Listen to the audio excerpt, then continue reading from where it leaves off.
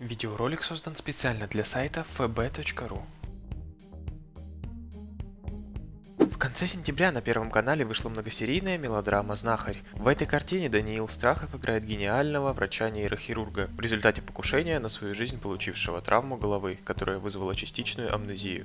Теперь светило медицины спасает жизни в провинциальном городке. В 1937 году Тадеуш Долинга-Мостович написал роман «Знахарь» о враче с амнезией. Книга получила несколько экранизаций, но нашим читателям, скорее всего, знаком только польский фильм 1981 года. Теперь же эта история вдохновила киноделов с Первого канала на создание сериала, действие которого происходит в наши дни. Одаренный нейрохирург Павел Андреев, вернувшийся в Петербург после работы в США, становится жертвой покушения и получает травму головы. Эта травма приводит к частичной потере памяти, но никак не влияет на координацию движений и профессиональные навыки. Поскитавшись по лесам, Павел оказывается в провинциальном городе Райске, где по счастливому совпадению больница оборудована получше, чем многие московские.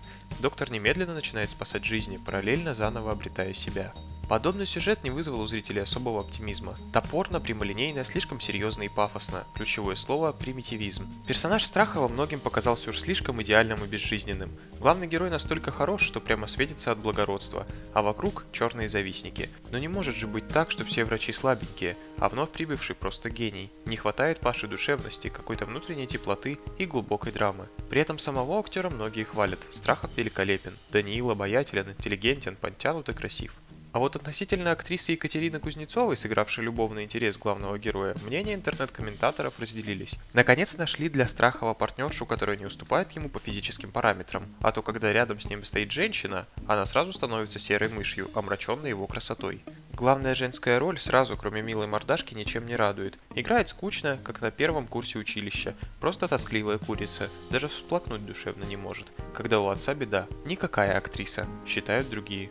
Не пришли зрители к консенсусу и относительно визуализации работы нейрохирургов в сериале.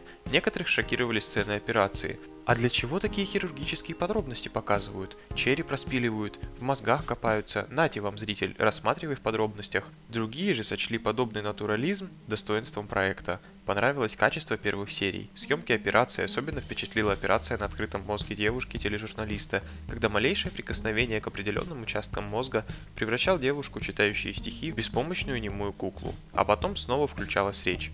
Не знаю, действительно ли проводят таким образом операции, но выглядело это сильно. Сериал «Знахарь» выходит на Первом канале по вечерам с 23 сентября. А смотришь ли ты сериал «Знахарь»? Делись своим ответом в комментариях. Подписывайся на канал и ставь лайк под этим видео. Видеоролик создан специально для сайта fb.ru.